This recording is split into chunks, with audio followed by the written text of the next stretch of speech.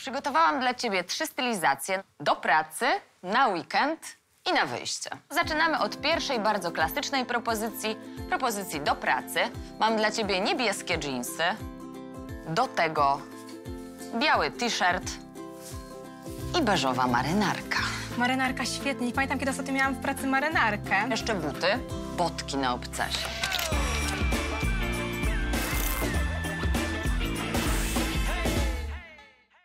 Jestem. No to przejrzyj się. Te spodnie są bardzo fajne, wiesz?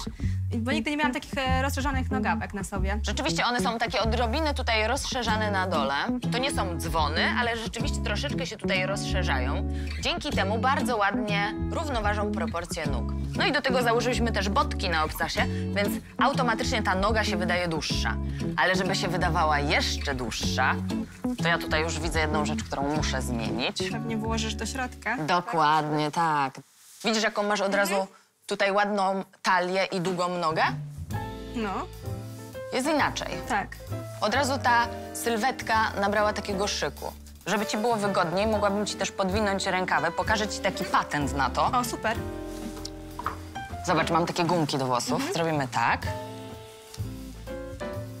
No bo jednak te rękawy często się e, zsuwają, a ty jednak jesteś makijażystką, pracujesz rękoma, więc podwinięty rękaw to domyślam się z u ciebie podstawa. Tak.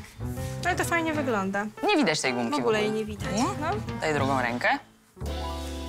O. Profesja. Ten dekolt jeszcze mnie tutaj prosi o jakąś biżuterię. A torebka będzie?